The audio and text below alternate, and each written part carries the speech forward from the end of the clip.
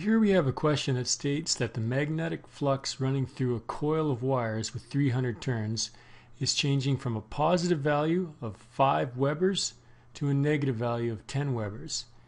It takes 0.050 seconds to do this, to make this change. And we know that whenever we change the flux, which is measured in Webers, we induce an EMF.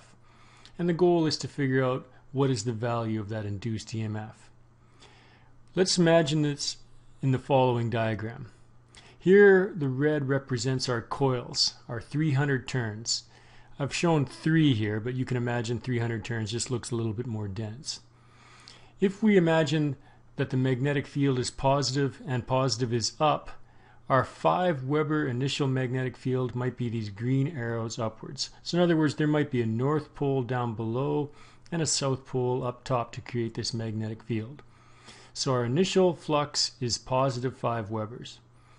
Our final flux is negative. What does this look like? Well, the arrows have to flip direction. Flux is in fact a vector quantity.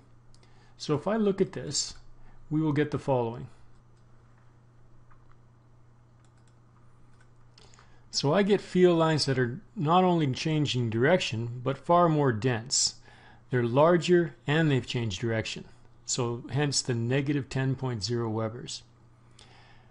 Now the goal is to determine the induced EMF. So my given information I've listed off on the right hand side. N is 300 turns, our initial flux is positive 5 Webers, final flux is negative 10 Webers. Time it takes to change that value is 0.050 seconds. What is the induced EMF? Well, we know what our equation looks like. Our equation is simply as follows. Our EMF is simply the number of turns times the change in flux divided by time. The negative just represents the fact that it's Lenz's law in place and it'll oppose any change in flux. So it's not super important, we just have to know what it means. So now, if we put in the values, I get negative 300. Change in anything is always final minus initial, so it's minus 10.0 Webers minus 5.0 Webers,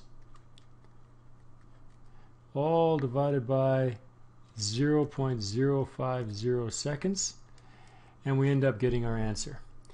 Now notice the top, the change in flux, when I go minus 10, minus 5, I get a change in flux of minus 15. If you were unaware of the change in direction here, you might assume that your change in flux is simply 5. But imagine that on a number line. It's going from positive 5 all the way down to negative 10. That's a change of 15 units, not 5. So we've got to be careful with questions like this. What is our final answer?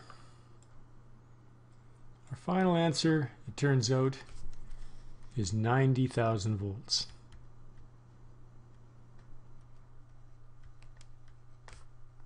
Or 9.0 times 10 to the 4 volts.